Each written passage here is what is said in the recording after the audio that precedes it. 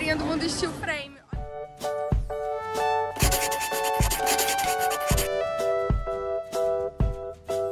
Olha que legal, encontrei a minha segunda obra. Segunda não, terceira.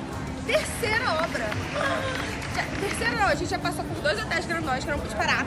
Aquela outra que eu mostrei pra vocês. E agora tem essa. E olha só que legal. Ela tem curva, como vocês podem ver. Inclinada. Ou seja, arquitetura super diferenciada pra vocês verem como é que o steel frame é flexível. E olha como é que fica. Tem um perfil espaçado a cada acho que a cada 40. É um espaçado a cada 40. E você que não vê que não é um perfil alto, né? Lá eles estão usando o perfil de 140. É, os americanos eles não usam muito perfil de 90, né? Como a gente está acostumado. Eles usam mais o perfil de 140. E esse daqui tá com estrutura mista. Você vê que a estrutura principal é de aço pesado eles estão usando todo o sistema de vedação em light steel frame. E o mais legal que eu quero mostrar pra vocês, nesse prédio aqui desse lado, eles estão usando a Glass Matte Sheeting de revestimento.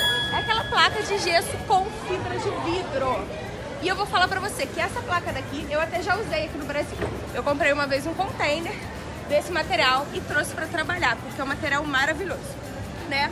Antes não tinha, agora a placa, né, no Brasil, ele tem esse material que eles chamam de Glass Rock H. É uma placa muito boa de se usar. E, gente, que felicidade! Sempre que tiver mais obra, eu vou estar mostrando pra vocês. Aqui é o pedaço, né, que já tá estruturando a fachada, olha só que legal. Olha o tamanho desses perfis de aço. E vocês podem ver que eles são esbeltos, assim, eles não são muito largos. Isso aqui deve ser um perfil de 140. Mas é um perfil de 140, olha o tamanho do pé direito, muito grande, né? E tá vendo o travamento horizontal deles? O legal é que o travamento horizontal é um acessório que você passa por dentro do furo de serviço.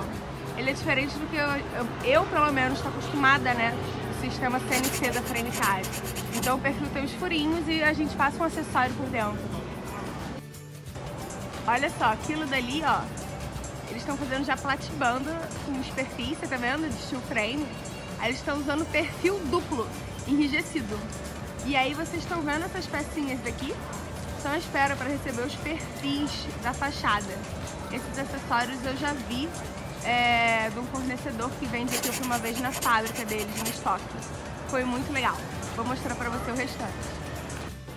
Então, galerinha, tô passeando, tô de férias. Mas prometo que se eu ver alguma coisa bacana, eu coloco aqui pra vocês, porque apaixonados por obra. Ah, e as outras obras que eu vi já tá com placa de fechamento. Eles estão usando Glass Matte Sheeting, que, ela, que é aquela placa de gesso com fibra de vidro.